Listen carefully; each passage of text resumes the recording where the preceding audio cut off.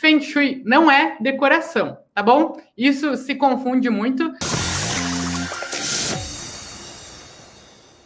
Abrindo meu coraçãozinho aqui para vocês, eu achava que Feng Shui era decoração antes de entender a técnica. Muito tempo atrás já tinha ouvido falar sobre Feng Shui e eu achava que era uma técnica de decoração, às vezes uma modalidade da arquitetura. Não sabia muito bem o que, que era. Achava que era uma técnica de decoração.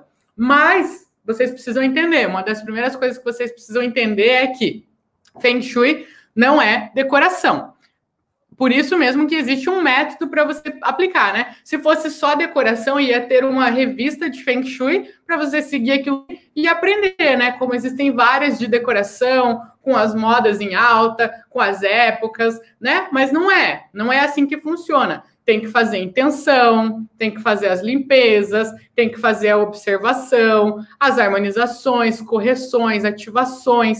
Então, isso não tem nada a ver com decoração, né? Então, por que, que isso se confunde, Feng Shui com decoração?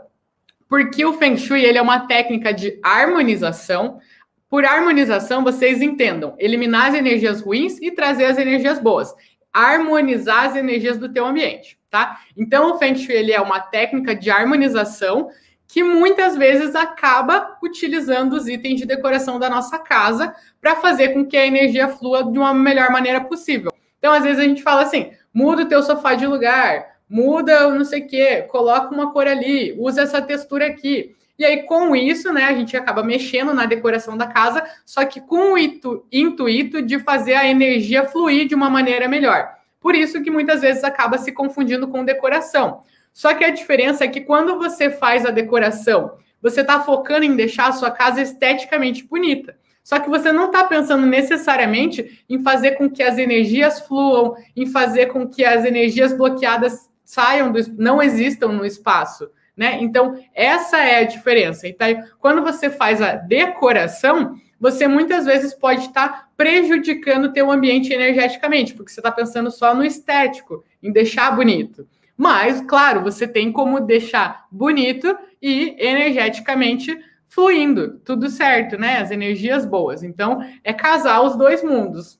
Legal? Maravilha? Então, primeira coisa, primeira atividade do dia aqui, para vocês entenderem, é que Feng Shui não é decoração, tá? Se confunde porque muitas vezes a gente usa as decorações da nossa casa para garantir que as energias estejam fluindo pelos nossos ambientes. Por isso que gera essa confusão. Mas uma coisa é uma coisa, outra coisa é outra coisa. Estamos entendidas? Beleza. Então, Feng Shui não é decoração. Como que a gente pode estar mexendo nos móveis da nossa casa, nos itens de decoração, para já começar a harmonizar do zero? Bruna, essa é a primeira vez caí de paraquedas aqui, nunca nem tinha ouvido falar sobre Feng Shui e apareceu você aqui na minha frente, fui com a tua cara, sei lá, e tô aqui te assistindo. Tô do zero. Como que eu posso começar hoje a harmonizar a minha casa? Bom, existem algumas maneiras que você pode hoje já, sem precisar comprar nada, sem precisar sair de casa, sem precisar aprender nenhum nome em chinês, sem precisar nada, você já pode começar a mudar as energias da sua casa, tá? Que são o quê? são os bloqueios, são as limpezas, são as percepções e são as, o posicionamento dos seus móveis e decorações. Vou estar falando rapidamente sobre cada um deles aqui para vocês. Vou aprofundar bem mais na semana do Feng Shui, mas já vou falar de algum deles aqui, algumas coisas que vocês já podem ir aplicando agora mesmo, tá bom? Então, primeiro de tudo, os bloqueios. O que, que são esses bloqueios? A gente, é, não sei se na casa de vocês tem, pode ser que exista, mas situações em que geram, você tem que se desviar do caminho. Às vezes um vaso, né, muito grande, ele fica ali na sala ou, enfim, num corredor, e aí, ou até mesmo para entrar dentro de casa, você tem que se desviar do vaso para entrar. Ou na entrada de casa, você tem que se desviar de uma mesa, tem um hall de entrada e aí tem uma mesa linda, maravilhosa. Só que ela não permite que você siga na sua casa em linha reta. Você tem que se desviar dessa mesa para ir para os outros cômodos, né? Ou outros tipos de bloqueio.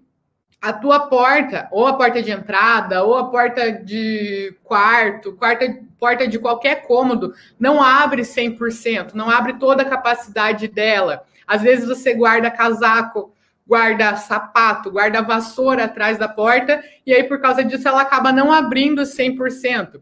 Isso é um bloqueio, né? Outro tipo de bloqueio, sofá no meio do caminho, puff.